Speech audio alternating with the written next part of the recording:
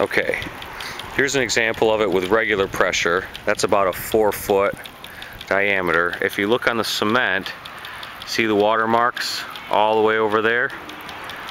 That's shooting across a residential street. See, we're on the curb on this side. There's the curb on that side. It's really kicking out some serious PSI. There's, uh, let's see here. I bet you it's it was hitting that door over there from here, which means it's probably a 20 foot radius, if not if not more. About 20 foot radius, 40 foot diameter, so pretty big.